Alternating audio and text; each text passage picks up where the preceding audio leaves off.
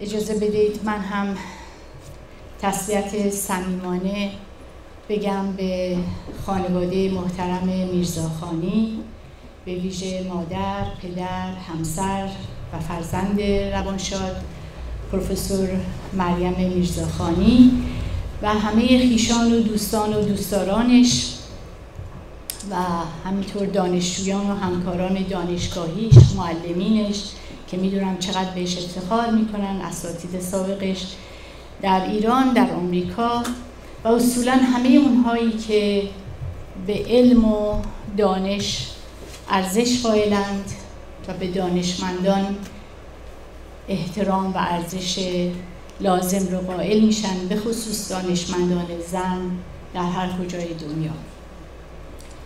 وقتی از من دعوت شد که در این جلسه صحبت کنم که البته فکر می‌کردم سومین سخنران خواهم بود بلا فاصله و از روی احترام و ستایشی که برای مریم بانو قائل بودم به مسابقه یک ریاضیدان و پژوهشگر نابغه پرکار و پربار دعوت رو پذیرفتم. ولی بعد با خودم فکر کردم چرا از من دعوت شده؟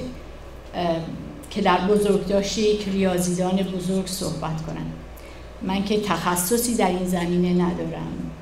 دوست و همکار و همکلاس مریم هم که نبودم لابد چون اون اولین زن ریاضیدان بود که مهمترین جایزه بین المللی در این زمینه رو یعنی مدال فیلدز رو دریافت کرد.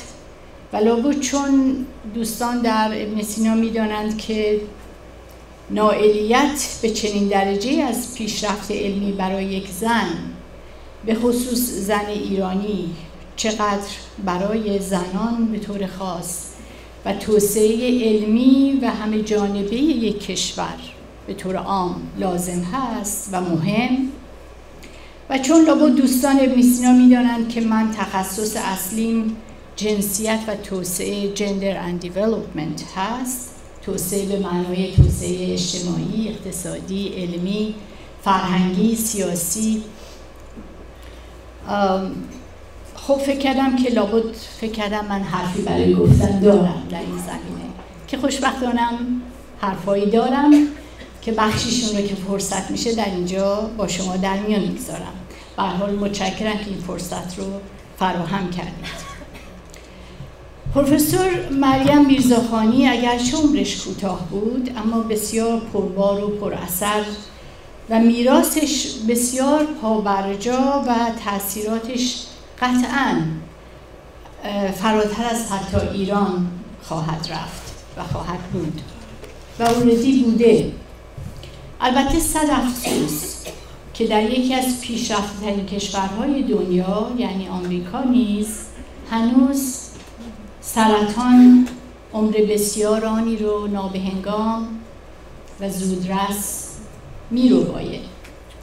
و شاید ناشین واقعیت ناشی از اولویت های غلط در این جوامع است که اونقدر که هزینه در زمینه های نظامی و تجارتی صرف میشه صرف تحقیقات و مبارزه با بیماری ها و پیشگیری بیماری ها به خصوص بیماری سرطان نمیشه و باز افسوس و صد افسوس که شرایط سیاسی و اجتماعی در ایران ما هنوز مغزها رو فراری میده و هنوز نابغه ها و پیشگامان مهم و اثرگذار در همه رشته ها از جمله رشته های علمی مثل ریاضیات نظیر.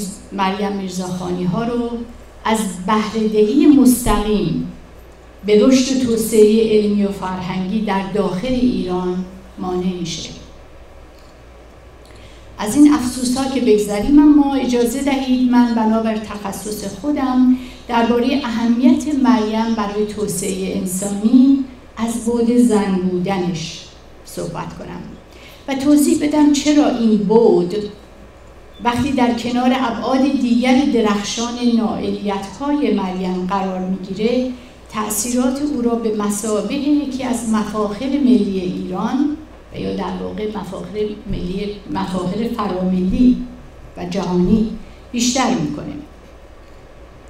متاسفانه هنوز در جهان به طور کلی و در ایران به طور خاص و وسواسگونه پوشش، آرایش، زیبایی و هجاب زن مهمتره تا مغز و دانش و توانایی ها و قابلیت ها و شخصیت او. این فقط در ایران نیست که بعضی ها هنوز زن را مثل یک کالای جنسی می‌خواهند در چادر سیاه بپوشانند و که گویا فقط مال صاحبش باشه. و یا مثلا در آمریکا و جاهای دیگر سر و سینه و بدن زن رو به عنوان کالا یا برای فروش کالاها ازش استفاده می‌کنن. و یا حتی رئیس جمهور فعلی آمریکا با کمال تعصب و شرمندگی زنان رو می‌دونید چگونه نگاه می‌کنه و عمدتا از روی زیبایی چهره و میزان جوانیشون میسنجه. مریم میرزاخانی اما به خاطر مغزش و تلاشش و شخصیتش بود که به چهره محبوب و احترام برانگیز در سطح جهان تبدیل شد. مریم میرزاخانی در این حال با زیبایی ساده و طبیعی و بیپیرایه خودش هم در صورت و هم در سیرت با پوشش ساده و راحت. اگه دقت کرده باشین خیلی راحت و ساده لباس میپوشید و رها از آزار و قید و بندهای معمول برای زنان. چه در ایران چه در آمریکا و بسیار جاهای دیگر. او بسیاری از کلیشه ها رو شکست. او از جمله هزاران هزار زن توانا و با استعدادی بود که از موانع موجود بر سر راه شکفتن نبوغ و استعداد زنان گذشت و فرض ناقص العقل بودن زن رو که هنوز در میان خیلی ها حتی بخشی از حکومتگران در ایران و غیر ایران رواج داره به چالش کشید.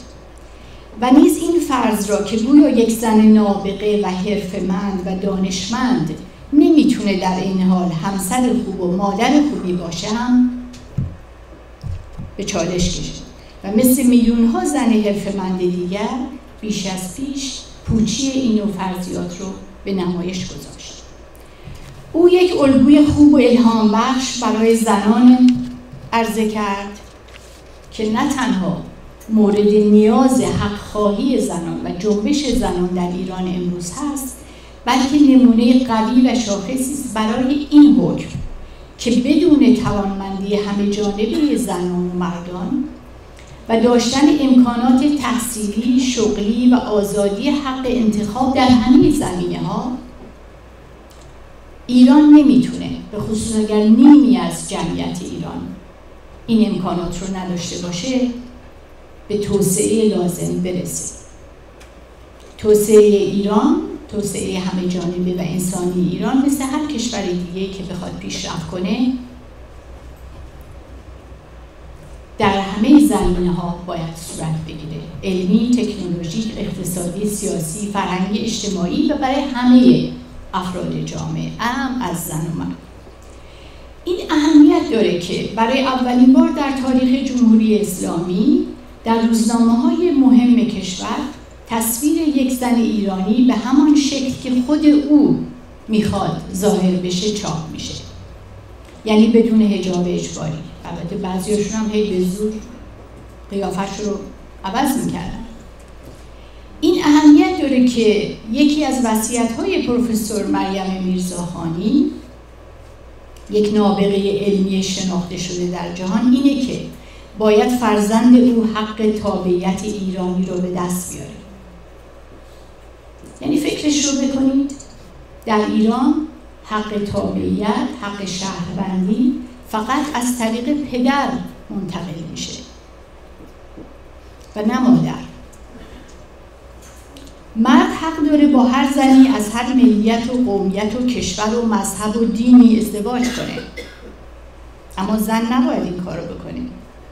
حتی اگه قانونا نباید اخلاقا نباید. حالا اگر هم این کارو می‌کنه شوهر غیر ایرانی یا غیر مسلمان اون نمی‌تونه شهروند ایران بشه. و فرزندانش هم همینطور نمی‌تونن شهروند بشن. حالا دارن قانون رو کمی تغییر میدن و صد تا شرایط می‌گذارن که اینو اصلاحش کنن. شاید میراث مریم میرزاخانی به مسابه یک چهره ملی بتونه به این مطالبه به حق زنان توجه بیشتری رو جلب کنه و فرایند اصلاح این قانون رو که بسیار تبعیضگرا و غیر عادلانه است تسریع کنه. می‌دونیم که هزاران زن ایرانی با شوهرای عراقی افغانی ازدواج کردن و با اینکه مسلمان هم هستن ولی هنوز اونها نمی‌تونن شهروند بشن از طریق زن. و فرزندانشون هم بلا تکلیف موندن. خوشبختانه در ایران زنان ما تونستن در عرصه تحصیلات در جمله رشته های علمی فنی و تجربی پیشرفت چشمگیری داشته باشند بیش از 60 درصد دانشجویان دانشگاه ها دختر هستند در رشته های معروف به STEM یعنی science، technology، engineering و math. هم درصد تحصیل زنان در ایران کمتر از کشورهای دیگه نیست. حتی از بعضی کشورها جلوتر. اگه آمارش درست یادم باشه بین 25 تا 30 درصد. امثال مریم میرزاخانی ها، رویا بهشتی ها، یاسمین مقبلی ها، مونا جراحی ها، پردیس ثابتی ها، سارا زاهدی ها و بسیاری. می‌تونن و می‌بینیم که دارند. الهام بخش افزایش علاقه دختران ایرانی به تحصیل در این رشته های علمی هم میشن اما مشکل اصلی در اونجاست که میزان بیکاری زنان در ایران دو برابر مردان هست و نرخ اشتغال رسمی زنان بین هنوز بین دوازده تا 16 درصد که این خیلی حتی از بعضی کشورهای خاورمیانه عقبتر. حالا سوال اینکه چرا حالا به اون سوال بزرگی که چرا اینقدر سطح اشتغال در ایران اشتغال رسمی خصوص کمه؟ بحث جدایی میتره که فرصت در اینجا نیست. اما چرا هنوز سطح زنان در رشته های استم اینقدر پایینه؟ نه تنها در ایران در خیلی جاها. چرا کمن تعداد مریم میرزاخانی ها خب سالها رو این موضوع کار شده. حداقل چهار عامل رو هنوز بهش اشاره می‌کنن یکی کلیشه های جنسیتی هست که stereotypes gender stereotypes میگیم که هنوز خیلی ها تصور می‌کنن و آمار و تحقیقات هم نشون میده که هنوز حتی ناخودآگاه ما زنان رو با رشته های humanities, art، ادبیات، زبان، امثال این همراه می‌کنیم و مردها رو با science engineering نمی‌دونم. حالا در زمین های پزشکی و حقوق و حتی business زنان پیشرفت بیشتری کردن در جاهای مختلف. ولی هنوز تو این رشته های STEM این عقب هست من توضیح بیشتر فرصت نیست بدم سریع میگذرم. دومین عامل جهتگیری جنسیتی یا gender bias که ناشی از همون stereotype ها هست که معلم ها اثر می‌ذارن به خاطر اون bias هاشون رو بچه ها تشویق هایی که میشه خانواده ها پدر مادرها دختراشون کمتر تشویق می‌کنن به این نوع رشته ها برن معمولا پسرها تشویق میشن و و بسیاری دیگه. و حتی موقع اشتغال هم همینطور این بایس ها و جهتگیری های جنسیتگرا وجود داره. سوم باز تحقیقات به خصوص در کشورهای مثل آمریکا نشون میده آزارهای جنسی که مثل هنوز مثل یک سر برای خیلی جا و هنوز پوشانده میشه به خصوص در کشورهای مثل ایران که زنان در محیط های کاری که به خصوص هنوز اغلب مردونه است خیلی احساس آرامش و امنیت نمی کنن. یعنی دائما مورد تعرض و آزارهای جنسی و خواسته های قرار می‌گیرن که محیط رو برای اونها ناراحت و نامطلوب می‌کنه و چهارم برای که سریع بگذرم نبودن مشوق و نمونه ها و الگوهاست. یعنی زنان آنچه هستن که می‌بینن. نمی‌بینن مدل های دیگری. از این جهته که میگم چرا مریم میرزا میرزاخانی ها خیلی مهم وجودشون چون اینها مدل میشن الگو میشن برای بسیار از در کشور ما که متاسفانه حتی شخص اول حکومت مخالف برابری حقوق زن و مرد هست و اصلا از کلمه برابری زن و مرد شدیدن اعتراض داره بهش و ضرورتی هم برای پیشرفت زنان در زمینه علوم و فنون به خصوص اشتغال نمی‌بینه و می‌بینید که حتی بین رئیس جمهور و رهبر جمهوری اسلامی پولمیک و بحث هست. رئیس جمهور تشویق می‌کنه اشتغال زنان رو که انقدر پایینه. و رهبر این حرفا چیه؟ چرا اصلا تشویق می‌کنید زنان رو برای کار بیرون از خانه؟ زن برای خانه و خانهداری و بچهداری فقط آفریده شده. در چنین زمینه و کانتکستی امثال مریم میرزاخانی ها می‌تونن بستری باشن نمونه باشن برای هم به چالش کشیدن این بحث ها این نگاه ها و هم ایجاد مدل برای شکوفایی زنان. خب یکی از دلایل این جنسیت گرایی ها و استریوتایپ ها اینه که هنوز خیلی ها زنان رو کمهوشتر از مردان می‌دونن و خیلی ها میگن خود زنها استعداد لازم رو ندارن که تو رشته های استم برن یا علاقه نشون نمیدن. این رو هم باز واقعیت ها و تحقیقات رد می‌کنه این فرض رو.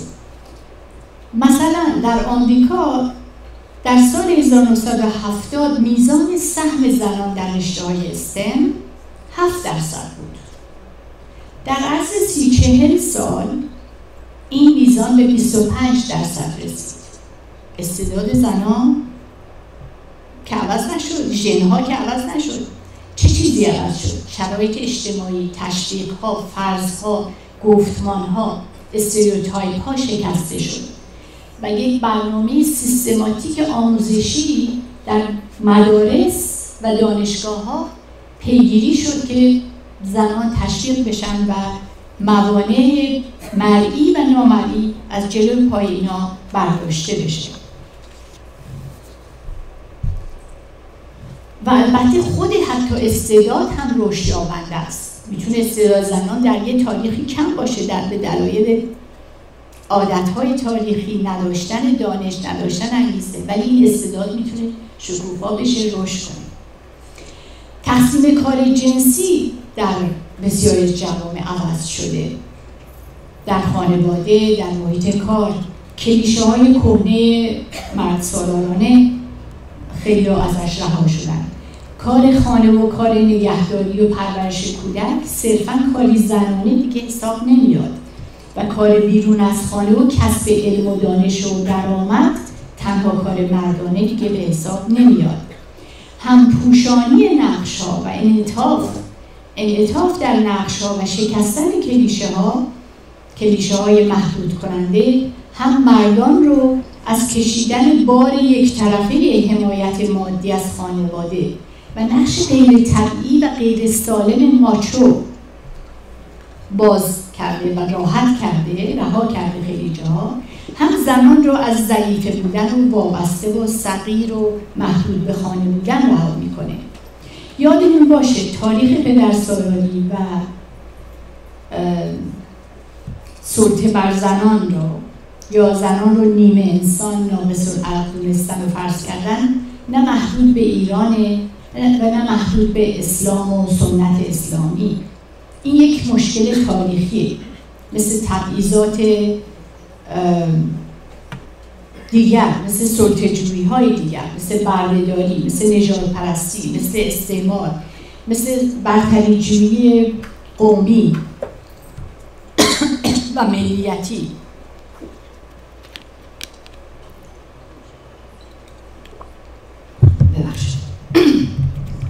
تا همین عواسط قرن بیستم عوامل جنسیتی مانع تحصیل زنان و ورودشون به دانشگاه ها می‌شد در خیلی از کشورها.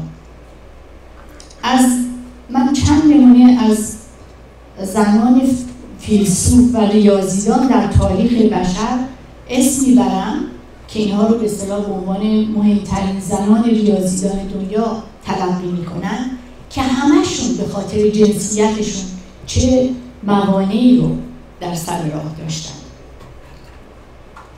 برای نمونه اولین زن ریاضیدان تاریخ جهان هایپاتیا و هیپاتیا که در اسکندریه مصر پرورش پیدا کرد در قرون چهارم و پنجم میلادی قربانی جهل و تعصب مشتی از طرفداران اسقف اعظم شهر شد و به قتل رسید.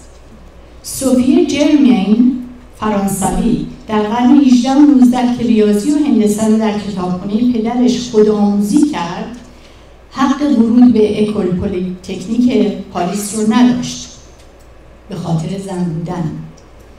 با نام مستعار مردانه به مکاتبه با اساتید دانشگاه پرداخت و با وجود عدم دسترسی به منابع و امکانات موجود برای مردان که اون داشت اون نداشت اون امکانات رو ولی با این همه در نهایت اولین زنی شد که از آکادمی علوم فرانسه جایزه گرفت به خاطر تئوری الاستیسیتی و چند دستاورد دیگه در زمینه ریاضیات من نمی‌دونم چقدر وقتی که دارم. بنابراین سریع از شبیه حالشون میگذرم فقط اسم میارم.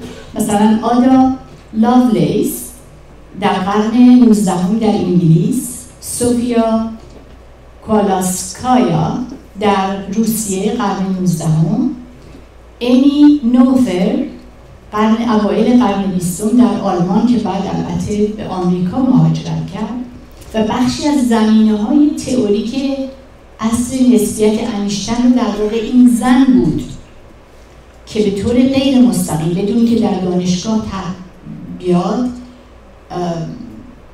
با مکاتباتی که با انیشتن داشت تدوین کرد. این تئوری رو کشف کرد و تدوین کرد و و خود انیشتن در وقتی که فوت کرد در سال 1935 انیشتن در نیویورک تایمز نوشت امی نوثر مهمترین ریاضیدان خلاق و نابغه است که تا به حال از آغاز ورود زنان به آموزش عالی حاصل شده. یعنی فقط مثلا در عرض همون چهل سال گذشته در عرض چهل سال یک همچین حاصلی از نبوغ زنان رو ما دیدیم که انیشتن خودش رو مدیون او می‌دانست. این مثال ها نشون میده که نه ناقص العقل بودن نه ژن ژنهای به زنان بلکه شرایط اجتماعی، تاریخی، اقتصادی، سیاسی و به gender politics به نوعی مانع کسب علم و ورود زنان به دانشگاه ها و به عرصه علوم شده و امروز ما می‌بینیم که چقدر سریع داره تغییرات ایجاد میشه به خاطر تغییرات در امکانات و باورهای ما. در قرن 21 بنابراین مریم میرزاخانی ها بسیاری از این موانع رو پشت سر گذاشتن یا قاعدتا باید گذاشته باشن. اما هنوز بسیاری از تبعیضها و محدودیت ها برای زنان ایران در عرصه های مختلف باقیه. اما خوشبختانه زنان ما خاصه زنان تحصیل کرده و حرفمند مهمترین عامل پیشرفت و تغییر شرایط ایران به سوی جامعه مرفهتر توسعه یافتهتر آزادتر و دموکراتیکتر خواهند بود. من باور دارم به این موضوع و اصلا شک نمی کنم آینده ایرانی آزاد دموکراتیک خواهد بود و پرچمداران این فرایند زمانی